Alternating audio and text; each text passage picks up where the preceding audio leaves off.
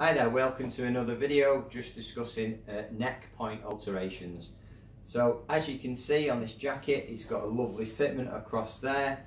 Now this isn't always the case. Sometimes on some jackets you might get a rimpling uh, like this or it might be stretching, not sitting on the shoulders properly but if you're suffering with a, a neck point ridge as we call it this can be this can be fixed. Again, if you've said in other videos, if you get a, a, a, high quality tailor to do your work, someone who's very skilled, um, they can carefully unpick the collar, unpick all this very carefully, and then you can pass up the neck point. So you can pass this fabric up if you've got suffering with this ridge scenario on the back, and then you can pull out, and then that will end it up nice and neat on your neck point. So for neck point alterations, they can be done, but you just need to get somebody who's, who's a skilled tailor to do the work for you.